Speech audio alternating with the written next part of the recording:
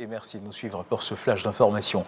Le président de la République, son Excellence Alassane Ouattara, a eh bien, quitté Abidjan euh, hier samedi 14 mai 2022 pour la France, où il prendra part les 16 et 17 mai prochain la sixième édition du Forum des marchés émergents. Ce forum initié par l'ancien directeur général du Fonds monétaire international, le FMI, M. Michel Candesius, vise à réduire les inégalités entre les pays en facilitant l'échange d'expériences, le débat politique et l'engagement du secteur privé pour atteindre l'objectif commun d'une croissance et d'un développement durable. À cette occasion, le chef de l'État, Alassane Ouattara, fera une intervention sur l'impact des crises actuelles sur les économies, notamment les économies africaines.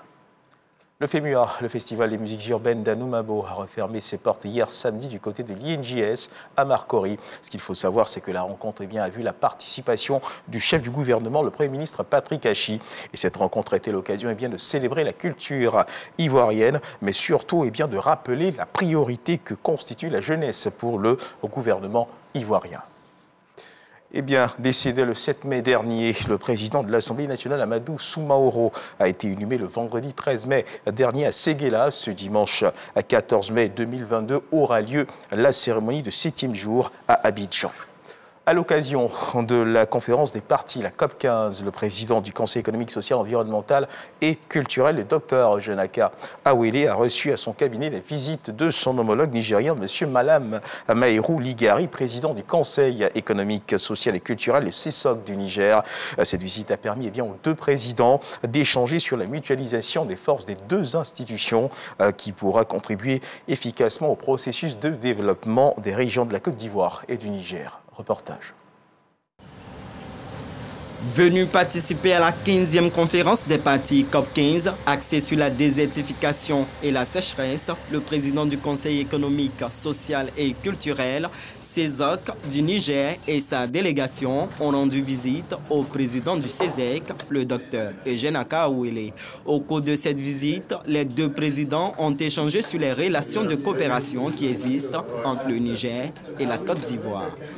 Nous avons échangé sur un certain nombre de dossiers sur lesquels nos institutions euh, travaillent ensemble d'arrache-pied pour faire en sorte que euh, les conseils économiques et sociaux puissent euh, donner des avis pertinents dans la conduite des affaires publiques.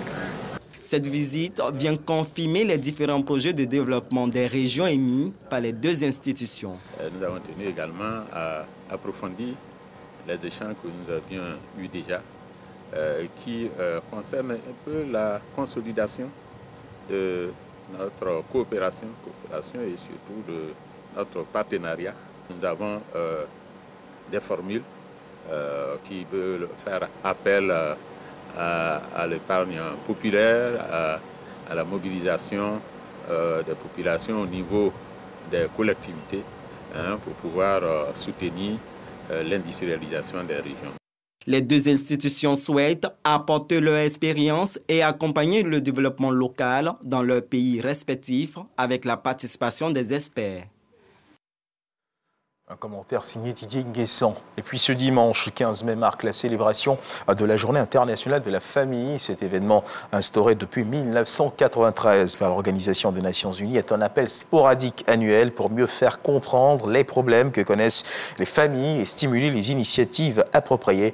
Cette année, le thème retenu est la famille au cœur du développement durable, un thème qui met en exergue le rôle crucial que chaque membre de la famille pu apporter au développement de la Côte d'Ivoire. Il est donc important de préserver l'harmonie dans le cocon familial.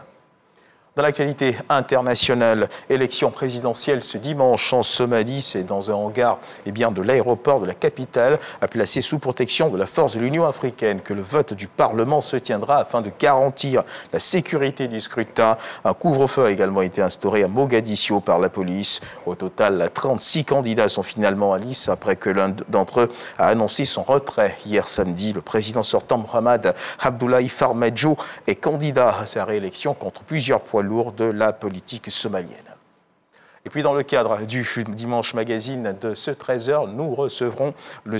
Marcel Baguidi, directeur général, représentant résident du SOAC, le système ouest-africain d'accréditation, avec qui nous parlerons du SOAC, ce système donc ouest-africain d'accréditation, un système qui travaille, rappelons-le, eh bien, à l'accréditation des organismes de laboratoire de validation de produits ou de résultats mis à disposition des opérateurs économiques ou des consommateurs. Voilà qui marque la fin de ce flash d'information. Merci de nous avoir suivis.